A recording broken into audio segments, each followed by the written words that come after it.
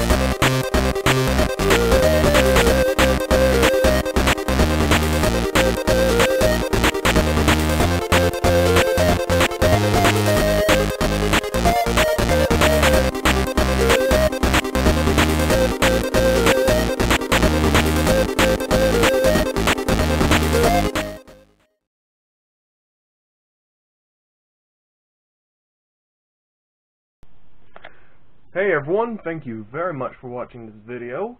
Uh, if you if you liked it enough, consider liking the video, and if you haven't already, subscribing to my YouTube channel. It'll be very much appreciated, and I'll see you guys next time.